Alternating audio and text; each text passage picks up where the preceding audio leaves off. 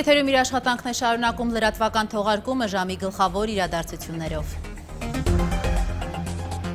Քաղաքական հետապնդումների մասին բարձրաձայնող Բարգավաճ Հայաստան խմբակցությունը որոշել է դիմել սահմանադրական դատարան, որտեղ վիճարկելու է արտակարգ դրության պայմաններում հավաքներ անցկացնելու արգելքի իրավաչափությունը։ Մինչդեռ իշխող Իմխայլից Ալեն Սիմոնյանը կասկած է հայտնել, թե Հրայր Թովմասյանի ղեկավարած դատարանը կհասցնի այս հարցով որոշում կայացնել։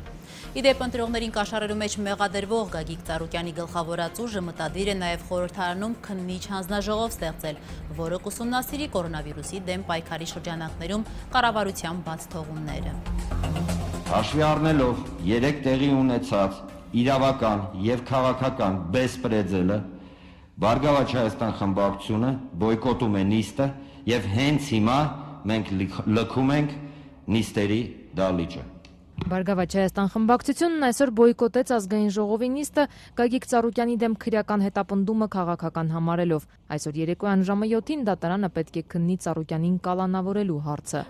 Եթե պարոն Ծառուկյանը չլինի մեր կողքին, մեր քաղաքական թիմը բնականաբար հավուր պատշաճիկ իրականացնի իր գործառույթները, մինչև այն պահը, երբ որ պարոն Ծառուկյանը նորից կղեկավարի մեր քաղաքական թիմը։ Կա որոշում արդյոք թե ով է փոխարինելու նրան խմբակցության ղեկավարի պաշտոնը։ Պարոն Ծառուկյանին որևէ մեկը չի փոխարինելու, մենք մեր բոլոր քաղաքական որոշումները կայացնելու ենք կոնսենսուսի միջոցով։ Այն ինչքան է տևելու ձեր բոյկոտը, որ այսօր հայտարարեցիք։ Մենք արդեն իսկ հայտարարեցինք, որ հակաօրինական, այսպես օրինագծեր, միջնորդություններ վավերացնող խորհրդարանում այս պահին մենք անելիք չունենք, մենք հայտնեցինք մեր դիրքորոշումը դրա հետ կապված, իսկ թե որ պահին Բարգավաճ Հայաստան խմբակցությունը կվերադառնա խորհրդարանական աշխատանքին, մենք այդ մասին եւս մեր անելիքների մասին ձեզ կտեղեկացնենք։ Նախկինում, երբ նման քաղաքական ցնցումներ էր, ամեն դեպքում ինչ քաղաքական ցնցումի ժամանակ մենք հիշում ենք, որ կուսակցության խմբակցության շարքերից արտահոսքեր նկատ նկատվում, հիմա նման երևույթ կա թե Ես բացառում եմ նման գործընթաց կապված Բարգավաճ խմբակցության հետ, ինչպես արդեն կրկնեցի, ասացի եւս մեկ անգամ վերահաստատեմ, որ մենք ունենք քաղաքական ամուր ամուր թիմ, մեկ միասնական ընտանիք եւ մենք այս այսպես ասած փորձության միջից եւս միասնաբար դուրս ենք գալու վստահաբար հաղթահարելով բոլոր տեսակի դժվարությունները։ Խմբակցությունը միևնույն ժամանակ հայտարարեց, որ այսօր ազգային ժողովում նախաձեռնում ընթանում է երկու գործընթաց՝ ստորագրություններ է հավաքելու կորոնավիրուսի դեմ պայքարն ուսումնասիրող քննիչ հանձնաժողով ստեղծելու եւ սահմանադրական դատարանում հավաքների կազմակերպման արգելքի իրավաչափությունը վիճարկելու համար։ Մենք կոչ ենք անում նաեւ այս գործընթացում մեզ միանալ Լուսավոր Հայաստանի մեր գործընկերներին, որpիսի մենք ունենանք բավարար չափով ստորագրություններ։ Միայն ԲՀԿ խմբակցության ստորագրությունները բավարար չեն, որ այս նախաձեռնությունները կյանքի կոչվեն։ Լուսավոր Հայաստանից ասում են, ի սկզբանե իրենց ներ նման քննիչ հանձնաժողով ստեղծելու գաղափարը եւ այժմ կհամաձայնեն, եթե հանձնաժողովի նախագահը Լուսավոր Հայաստանից լինի։ Մենք քննիչ հանձնաժողովի ստեղծման գաղափարին կաջակցենք, պայմանով, որ եթե հանձնաժողովը նախագահի Լուսավոր Հայաստան կուսակցության ներկայացուցիչ է, ինչու որովհետեւ նախ կրկնում եմ գաղափարը, մեր գաղափարն է, պետք է այս առումով կարծում եմ առաջնահերթություն տրվի գաղափարի իրականացման գործում Ինչ վերաբերում է սահմանադրական դատարան դիմելուն, Լուսավոր Հայաստան խմբակցության ղեկավար Էդմոն Մարուկյանն ասում է, մինչև բարձր դատարան դիմելը հենց խորհրդարանում կարելի է փորձել այդ հարցը լուծել։ Բարետատան որոշումը վերանայել եւ հնարավորություն տալ, որ դիմակներով սոցիալական հերավորությունը պահպանելով մեկը մյուսից լինի հնարավորություն մարդկանց բողոքի ձայնը հնչեցնելու, որտեղ դա իմ կարծիքով ֆունդամենտալ ֆունդամենտալ իրավունք է։ Իմ քայլը խմբակցության падգամավոր ազգային ժողովի փոխոսնակ Ալեն Սիմոնյանն ասում է, կորոնավիրուսի հետ կապված հարցերն ուսումնասիրող քննիչ հանձնաժողովի ստեղծմանը միայն ուրախ կլինեն։ Անձամբ ես գերազանց եմ գնահատում այդ երկու նախաձեռնությունները, որովհետև շատ կարևոր եմ համարում օրինակ այդ հանձնաժողովի ստեղծման պարագայում, եթե այդ հանձնաժողովը ստեղծվի, մենք նաև կկարողանանք քննել այն լուրերը, որ տարածվում են առ այն, որ ձեր նշած կուսակցության մերձ խմբեր տարածում են այն լուրը, թե իբր կորոնավիրուս իրականում գոյություն չունի, թե դա դիմակ կրել ընդհանրապես պետք չի, падգամավորներ կան, որոնք նույնիսկ դիմակ չեն կրում։ Վերաքննիչ դատարանն այսօր քննել է սահմանադրական կարգի տապալման մեջ մեղադրվող Ռոբերտ Քոչյանի պաշտպանների բողոքը, որով նրանք վիճարկում են երկրորդ նախագահին կալանքի տակ թողնելու առաջին ատյանի դատարանի որոշումը։ Հիշեցնենք մայիսին Հայաստանի նախկին վարչապետներ Վազգեն Մանուկյանը, Խոսրով Հարությունյանը, Կարեն Կարապետյանը եւ Արցախի նախկին վարչապետ Անուշավան Դանելյանը Ռոբերտ Քոչյանի կալանքն անձնական երաշխավորության փոխարինելու միջնորդություն էին ներկայացրել, ինչը սակայն մերժվել էր։ Այսօր դատավոր որը հարցրել է, արդյոք Քոչարյանը կհարգի նրանց միջնորդությունը եւ չի խուսափի քննությունից։ Իմ եւ կողմնակիցների կողմից եւ մարդկանց կողմից, որով ինձ չեն ընդունում, կա ձևավորված մի կարծիք, որ բոլոր դրական, բացական, այսպես կողմերով, որ խոսքի դեր մարդ է եւ երբեք պատասխանատվությունից չեն խուսափում։ միգուցե ժամանակակից բառապաշար օգտագործեմ, սա այսպես ասեմ մի բրենդ է, որը ձևավորվել է իմ կենսագրության եւ իմ հարման շուրջ։ Սա իմ համար չափազանց մեծ արժեք ունեցող բրենդ է եւ կրկնում եմ այս այս անկալման մի որևէ կար, որը կարող է այս անկալմանը ինչ որտեղ այս անկալման վերաբերական վերաբերյալ ինչ որտեղ կասկածներ առաջացնի, սովետի բացառում է որևէ բան։ Սա ուզում եմ, որ որտի հասկանալի լինի բոլորի համար եւ նաեւ անկեղծ ասեմ, իմ համար բավական տհաճ է, որ ես պետք է դատարանում կառնեմ եւ այդ հանգամանքի կարևորությունը փորձեմ բացատրել օգտագործելով ինչ որ բառապաշար։ Ուրեմն կարծրի պատասխանել ոչ թե ձեր անձը իրավորված զգալով, այլ հասկանալով, որ դատարական գործընթացում Հայաստանի Հանրապետության դատարանում է եւ բոլորի համար մեծ պատիվ է դատարանում պատասխանել դատարանի հարցերին, ինչպես եւ դատարանի համար մեծ պատիվ է իրականացնել աշխատանքը։ Իմ համար զարմանալի է, երբ դատախազությունը իմ պաշտոնավարման հանգամանք օգտագործում է որպես հնարավորություն մարդկանց ճնշելու վրա։ Իմ համար Սա մի գործոն է, որը բացառում է, որ ես որը մի բան անեմ, որից ես կարող եմ համաչել։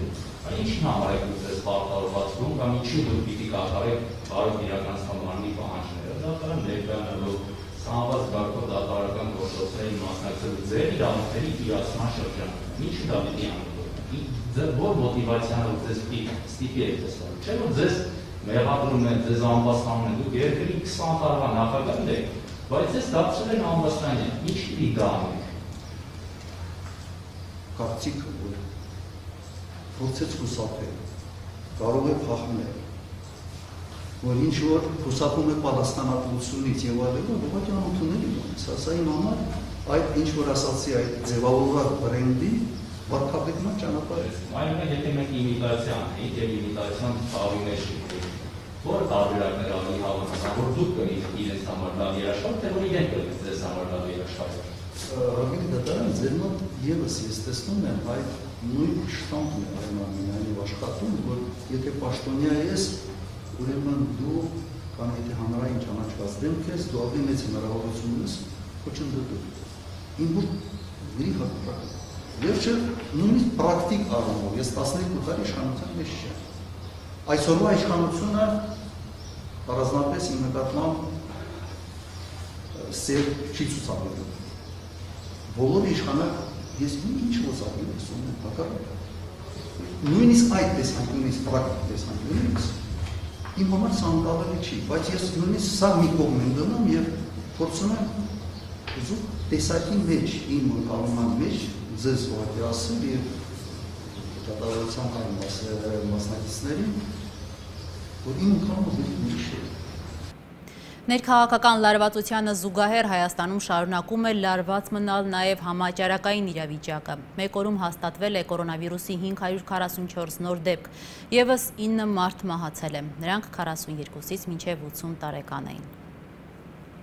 Հակահամաճարակային շարժումը դանդաղ արդյունք է տալիս Facebook-յան գրառմամբ տեղեկացրել է առողջապահության նախարար Արսեն Թորոսյանը, ներկայացրել աղյուսակ կովիդի կանխատեսված ու իրական թվերի վերաբերյալ։ Հունիսի 13-ին սպասվում էր, որ կհատենք 20 հազար վարակակիրների շեմը։ Այսօր ունենք 18,033 վարակակիր։ Չնայած մեր բացարձակ թվերին վերջին 10 օրերին համաճարակաբանական միտումներն ավելի դրական են, քան կանխատեսված էր։ Աճի տեմպի նվազման նման միտումների պատճառը կարող է լինել միայն մեր վարքագիծը, հակահամաճարակային պարզ կանոնների պահպանումը։ Վերջին մեկ օրում վարակի 544 նոր դեպք է գրանցվել ավելի քան 2000 թեստավորվածներից։ Ընդհանուր 18033 վարակակիրներից ապաքինվել է 6814-ը։ Մահացել 302 քաղաքացի, վերջին մեկ օրում 9 հոգի, ամենաերիտասարդը 42-ամյա տղամարդ։ Եվս 3 քաղաքացի մահացել է այլ հիվանդության պատճառով, բայց նաև հաստատված կովիդ է ունեցել ստեղծել։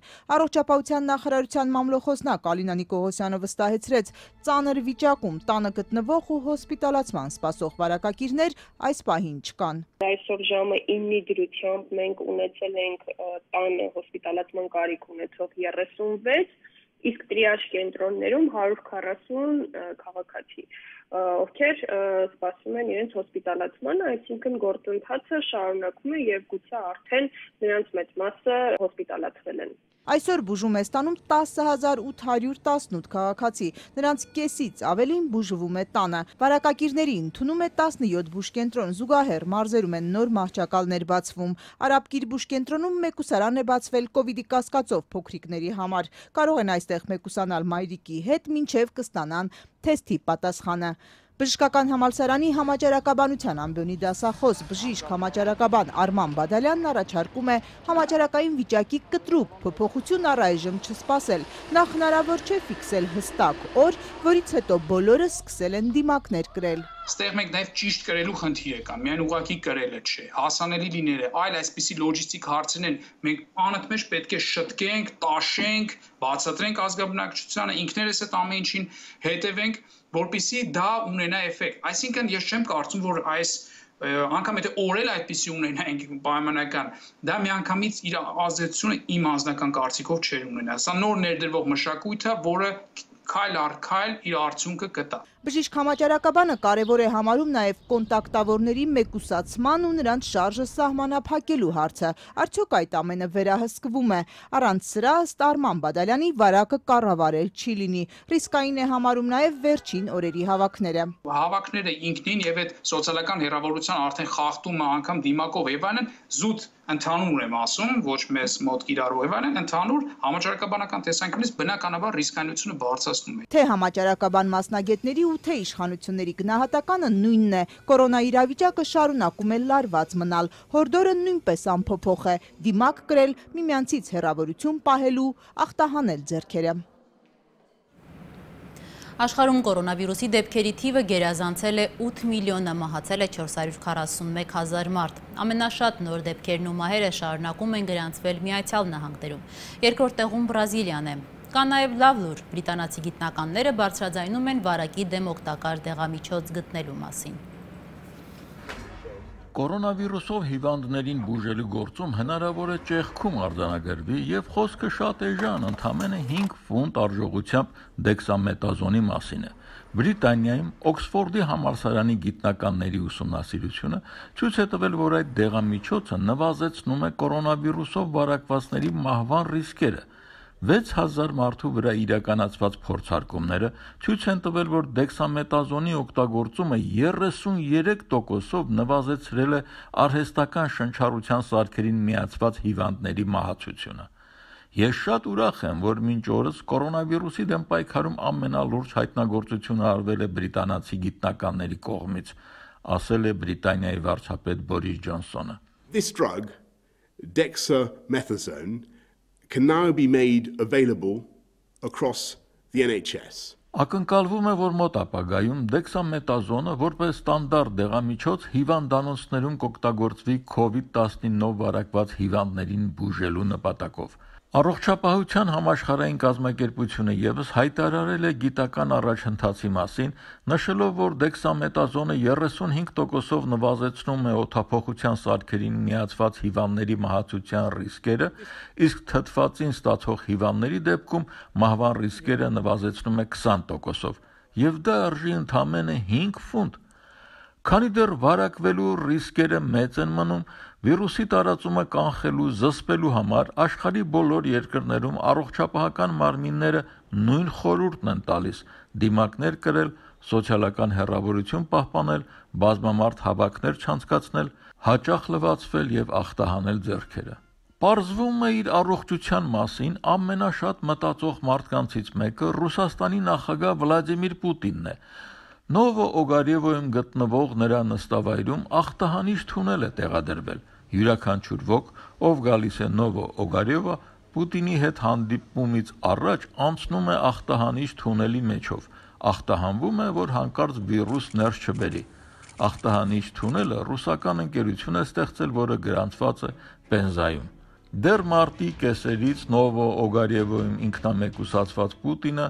այս ամբողջ ժամանակահատվածում ընդամենը 1-2 անգամ է դուրս եկել այնտեղից մասնակցել հանրային որևէ միջոցառման։ Ռուսաստանում չնայած կորոնավիրուսի նոր դեպքերը նախորդ ամսվա համեմատ նվազել են, այնուամենայնիվ թվերը բարձր են մնում։ Նախկինում օրական արձանագրվող դեպքերը 10000-ից ավելին էին, իսկ վերջին շրջանում օրական հաստատվում է 8000-ից ավելի նոր վարակվածներ։ Չնայած բարձր թվերին,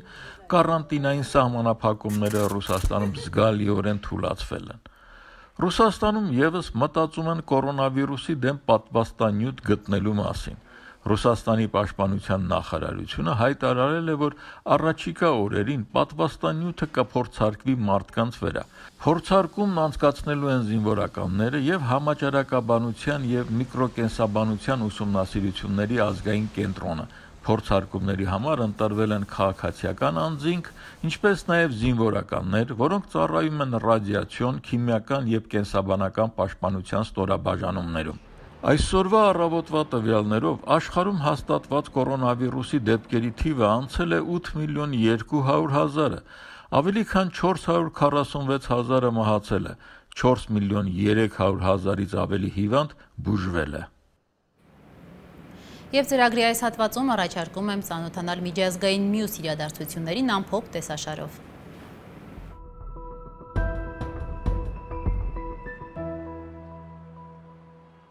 Անկարան 29 միլիոն դոլար դրամաշնոր է տրամադրում Բաքվին ռազմաարդյունաբերական արտադրանք գնելու համար, ըստ Ինտերֆաքսի ասել է Թուրքիայում Ադրբեջանի դեսպանը։ Ավելի վաղ ադրբեջանական մամուլը գրել էր, թե Բաքուն պատրաստվում է Թուրքիայից ձեռք բերել ուղաթիռներ եւ անօթաչու թռչող սարքեր։ Մենք քննարկում ենք ոչ միայն գնման, այլև այս ոլորտում համատեղ արտադրություն սկսելու հարցը, ասել է Ադրբեջանի դեսպանը։ Թուրքիան հատուկ ջոկատայիններ է ուղարկել Իրաքի հյուսիս եւ ռազմական նոր գործողություն սկսել տեղի քրդական խմբավորումների դեմ։ Մենք գործի ենք դնում ինքնապաշտպանության մեր իրավունքը։ Հայտարարել Անկարան հիշեցնելով վերջերս թուրք զինվորների վրա իրականացված հարձակումները Իրաքի սահմանային գոտիներում։ Ավելի վաղ Թուրքիան նաև հրթիռակոծել էր քրդական դիրքերը։ Բաղդադը դատապարտում է թուրքական ներխուժումը, այն որակելով ոտնձգություն իր տարածքի եւ ինքնիշխանության դեմ։ 12 երկրների, այդ թվում Հայաստանի զինվորականներն արդեն ժամանել են Մոսկվա եւ մասնակցում են հաղթանակի զորահանդեսի փորձերին, հաղորդել է Ռուսաստանի պաշտպանության նախարարությունը։ Կրեմլը պատրաստվում է 1 շաբաթ անց հունիսի 24-ին Կարմիր հրապարակում մեծ շուկով նշել երկրորդ համաշխարհային պատերազմի 75-ամյա հաղթանակը։ Հաղորդում է, որ զինվորական շքերթին ներկա կլինեն ավելի քան 1 տասնյակ պետությունների պատվիրակներ։ Օրեր առաջ իր մասնակցությունը հաստատել է նաև Հայաստանի վարչապետ Նիկոլ Փաշինյանը։ Այսօրվանից ուժի մեջ են մտնում ամերիկյան նոր պատժամիջոցները Սիրիայի իշխող վարչակազմի եւ նրա աջակիցների դեմ։ Ըստ այդմ Վաշինգտոնը սպառնում է պատժել բոլոր, այդ թվում օտարերկրյային ընկերություններին, հաստատություններին, ինչպես նաեւ ֆիզիկական անձանց, որոնք գործարար կապեր կհաստատեն Դամասկոսի հետ։ Մեր նպատակն է թույլ չտալ, որ Ասադի ռեժիմը վայելի հաղթանակը առանց պատասխան տալու իր գործած վայրագությունների համար, հայտարարել է ՄԱԿ-ում Միացյալ Նահանգների դեսպան Քելի Թրաֆթը։ Միացյալ Նահանգների նախագահը հրամանագիր է ստորագրել իրավապահ համակարգի բարեփոխման ուժային մեթոդները վերանայելու, ոստիկաններին վերապատրաստելու վերաբերյալ։ Մենք պետք է վերջ տանք անցյալի ձախողումներին, հայտարարել է Սպիտակ տան ղեկավարը։ Մի քանի շաբաթ է երկրով մեկ բողոքի ցույցեր են ոստիկանական բռնությունների դեմ, որոնց հետևանքով անցած ամսվա վերջին Մինեապոլիսում շնչահեղձ էր եղել աֆրոամերիկացի 46-ամյա Ջորջ Ֆլոյդը։ Կրեմլում, ինչպես նաև Ռուսաստանի նախագահի Նովո Օգարևոյի նստավայրում հատուկ ախտահանիչ թունելներ են տեղադրվել։ Տեղեկությունը հաստատել է նաև նախագահի խոսնակը, չհերքելով, որ Վլադիմիր Պուտինի, ինչպես նաև նրա վարչակազմի հետ հանդիպումներից առաջ այցելուները պարտավոր են անցնել այդ միջանցքով։ Պենզայում նախագծված նորամուծությունը ստեղինակների հնարավորություն է տալիս ախտահանել հագուստն ու մաշկը վայրկյանների ընթացքում։ Կորոնավիրուսի համաճարակի բռնկումից հետո Ռուսաստանի նախագահն անցել է հիմնականում հերավար աշխատանքի։ Խոսնակն էլ նշել էր, որ աշխատակազմի անդամները, ինչպես նաև հյուրերը, Պուտինի հետ հանդիպումներից առաջ կորոնավիրուսի թեստ են հանձնում։ Ուզբեկստանում բարոյականության եւ հոգեվորականության հարցերով հատուկ հանձնաժողովն արգելել եւ սպիտակ թերթով ծածկել է պաստառը, որի վրա պատկերված է եղել Լողազգեստով մի կին։ Նկարը տեղադրվել էր մայրաքաղաքի սննդի կետերից մեկում, որտեղ թարմ կամած հյութեր ու սառըմպելիքներ են վաճառում։ Կառավարական հանձնաժողովը որոշել է այն չի համապատասխանում բարոյականության սկզբունքներին։ Բռնապետական կառավարման փայտնի երկրում վերահսկվում են նաեւ երաժիշտների հակուկապն ու երկացանկը։ Երկչուհիներից մեկը Յուլիա Յուլդաշովան օրինակ զրկվել է հայրենիքում ելույթ ունենալու իրավունքից։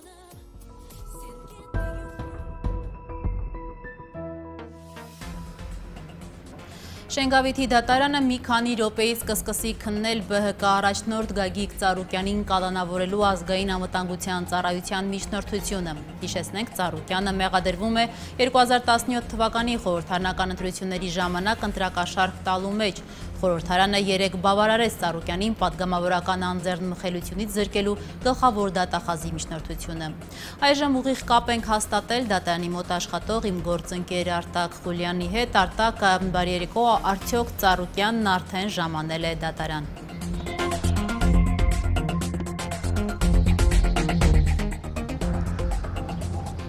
Ողջույն Ռուզաննա, դեռևս Ծառուկյանը, ԲՀԿ առաջնորդ Գագիկ Ծառուկյանը չի ժամանել դատարանի տարածք, սակայն արդեն այստեղ ուժեղացված վերահսկողություն է իրականացնում, իրականացվում ոստիկանների կողմից, տարածք մեծ թվով ոստիկաններ են բերվել, այնտեղ որտեղ մեր նկարանող խումբն է գտնվում, Ծառուկյանի աջակիցները չեն կարող մուտք գործել, միայն լրատվամիջոցներին է թույլատրվում տարածք գործել եւ աշխատել այստեղից իրականացնելով լուսաբանումը նշեմ, որ ինչպես արդեն նշեցիր Երևանի ընդհանուր իրավասության դատարանի Շենգավիթի նստավայրում մոտավորապես կես ժամից կմեկնարկի Գագիկ Ծառուկյանի կալանքի հարցի քննությունը Դեռևս այս պահին մենք լրագրողները սպասում ենք Գագիկ Ծառուկյանի դատարան ժամանելուն։ Այս պահին այստեղ իրավիճակը հանդարտ է, դեռևս ոստիկանական ուժերն են այստեղ, բայց տեսնում ենք, որ դատանի բակից մի, մի քիչ մի քանի մետր հեռավորության վրա քիչ-քիչ նաև Ծառուկյանի աջակիցներն են հավաքվում։ Սակայն դեռևս այստեղ այսպիսի իրավիճակ է, դեռևս ոստիկաններն են, այսքանը Ռուզաննա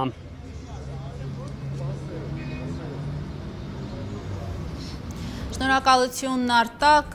մենք այսքանով ավարտում ենք լրատվական թողարկումը, իսկ ես ձեզ առաջարկում եմ հետևել Շենգավիթի դատարանում տեղի ունեցող գործընթացներին, հիշեցնեմ մի քանի րոպեից դատարանը պետք է սկսի քննել ԲՀԿ առաջնորդ Գագիկ Ծառուկյանին կալանավորելու ազգային անվտանգության ծառայության միջնորդությունը։